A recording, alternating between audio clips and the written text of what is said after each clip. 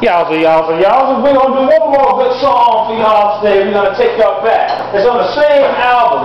It's called Ain't No Mountain High Enough, written by Ashford and Simpson.